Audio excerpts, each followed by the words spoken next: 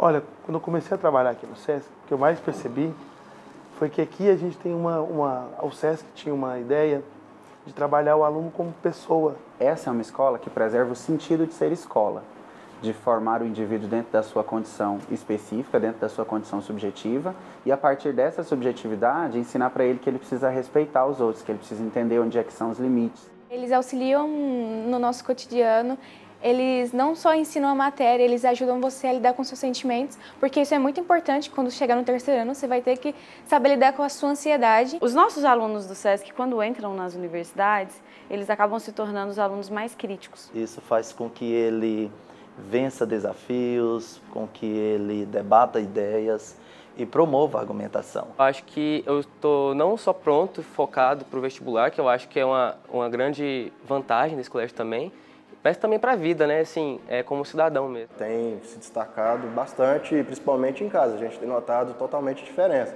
Esse aluno tem um laboratório, esse aluno tem alguns trabalhos que ele faz com a comunidade. Lousa digital em todas as salas, acesso à internet, acessos a, a conteúdos dinâmicos. Nós temos no acervo um pouco mais de 19 mil exemplares. As atividades extracurriculares, como teatro, que eu já fiz, e o, o inglês, é, me ajudaram a abrir mais o meu mundo. E a ideia de compartilhar é muito importante, porque quem entra no SESC, como aluno, como professor, entende que o SESC não é somente uma escola, ele acaba se tornando uma família.